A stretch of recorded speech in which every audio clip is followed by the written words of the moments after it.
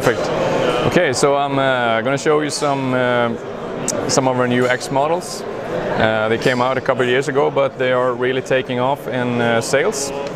So we have uh, the F1X and uh, the S1, a little bit bigger, and the A1X. So they are basically a further development of our F1, S1 and A1 standard series and um, they are started thicker blade uh, and full tang.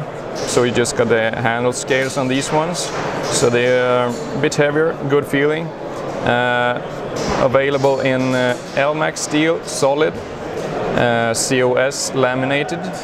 And this is also uh, tungsten carbide coating. Mm -hmm. So uh, it's a very durable, nice black transparent coating uh, used in many steel industries tools.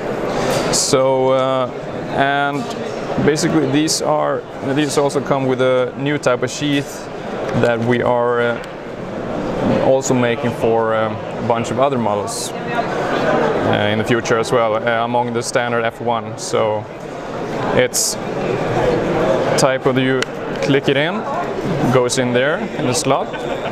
Then when you take it out, you have to push it at the side. So you push it there, pull it out. Mm -hmm. And so it's a two-way locking system and you put it in like that and you can also lock it in place with that lever. Then it's, totally stuck. Fix it totally fix it, so it won't come loose. So this is a really good one. We have um, removed the strap around the handle. So it's uh, a lot of people love this one. And of course it's uh, for each and every size. So that's this, these are our strongest survival knives at the moment. So these pretty thick. These ones are seven millimeters thick in the blade all the way through so they can take a lot of lot of stuff. And um, I can also show you the one of our newest folders. This liner lock uh, model called the RL1 also with the Elmax steel.